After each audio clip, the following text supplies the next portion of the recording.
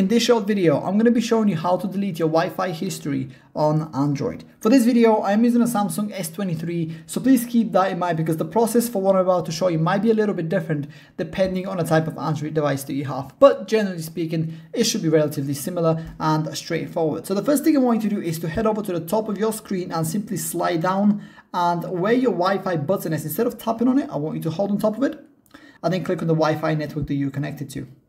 This will take you to your Wi-Fi settings. So from here in the top right corner of the screen, click on the three dots, then click on advanced settings.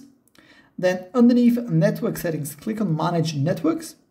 And this is where your internet or Wi-Fi history is. So in order to delete any of them, simply tap on the one that you want to delete. So for example, Starbucks Wi-Fi here, the second one, then I can basically click forget and just like that it's gone now if you have a lot of different Wi-Fi uh, connections that you want to get rid of what you can do is basically click on the delete button at the bottom of the page right here and then basically just mark the ones that you want to get rid of and very easily click on delete and just like that they've been wiped away and yeah, that's pretty much it. That's how to delete Wi-Fi history on Android. If you have any questions, let me know down in the comments below and I'll do my best to help you out.